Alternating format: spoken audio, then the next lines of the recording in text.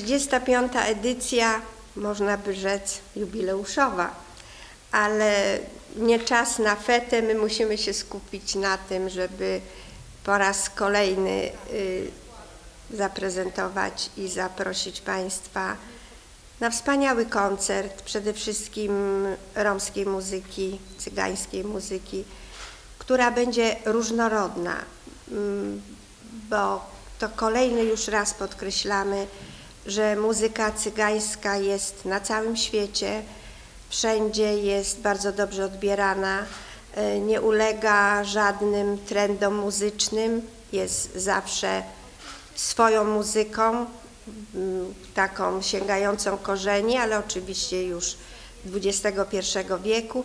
I dlatego na naszym festiwalu zapraszane zespoły z Europy, można by powiedzieć ze świata. Staramy się jakąś, jakąś świeżość każdego roku, co też nie jest proste, bo, bo jednak przez tyle lat festiwalu już gdzieś większość tych zespołów, artystów e, romskich e, już była.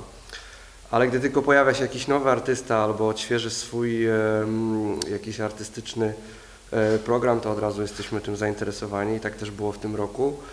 Stąd też zespół Zuralia, który był u nas bardzo dawno temu, teraz jest trochę w innej odsłonie, mają nowy program.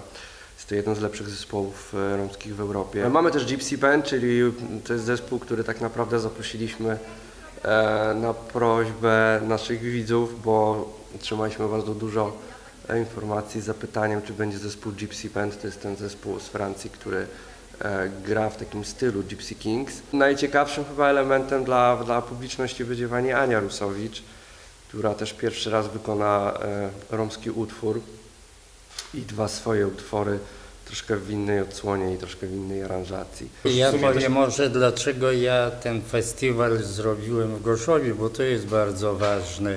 Dlatego jeżeli cyganie wszyscy zaczęli e, być już w domach osiedleni, więc ta muzyka ginęła.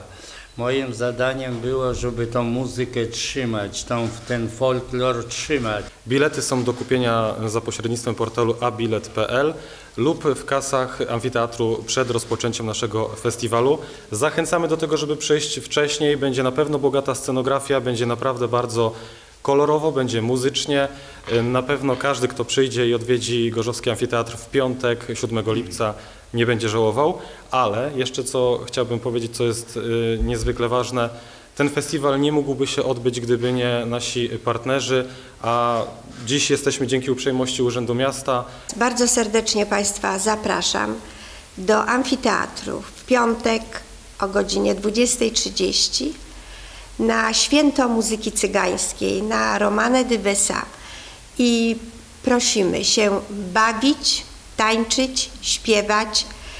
Muzyka będzie dla Państwa oderwaniem od trosk, od zmartwień i tak mamy traktować ten festiwal.